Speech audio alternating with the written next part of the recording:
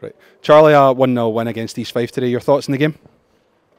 I thought it wasn't our wasn't our prettiest. Um, I think it was quite dogged. We showed that you know like a team that can grind out a win in those conditions um, is probably one that's going to gather momentum into the playoffs. So hopefully uh, there's more to come. But we hadn't beaten them. We knew it was going to be a difficult game, and they showed that today. As you say, we maybe lacked a bit of energy and a bit of impetus at times, but it was really important we got through and get the win, especially with the playoffs now coming up. Yeah, I mean, uh, Gaff was saying before the game, look, you can really cement yourself in the playoffs. It's these games that are harder because East Fife are fighting for their lives, really.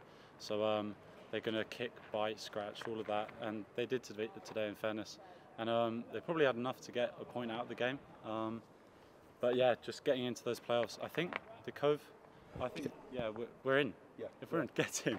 All right, cool. I haven't checked yet. But um, no, delighted to be cemented in the playoffs, and uh, we'll keep an eye on the championships to see who we can play. Yeah, absolutely. As you said, uh, Cove beat Falkirk 2 0, so that's our uh, playoff place assured. Um, how did it feel when the penalty hit the back of the net? I know it maybe didn't go in the, the most conventional way, but uh, what was the feeling like then?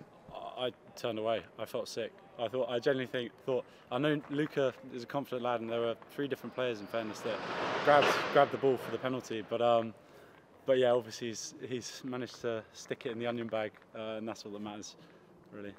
And after that, we had a, a stunning double save, although it, it, looked a bit offside uh, from Calum Ferrie. Uh, just uh, just how important was that?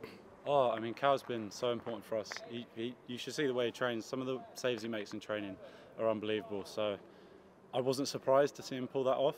Uh, I think it would have been nice for it not to be offside, so he could claim the double save. But uh, but yeah, he's he's like that, and to stay switched on for 90, 95 minutes is a he's a credit to us.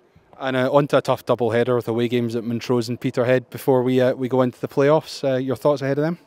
I think it's just keep keep momentum going. I mean, it's always the old adage: the team that has momentum going into the playoffs and will will tend to do well. So I think just like I'd be happy with obviously two back-to-back wins to get the confidence high. But I think we should try and really work on our style of play and how we're going to play at Firhill and away on 3G surfaces. Thanks, Charlie.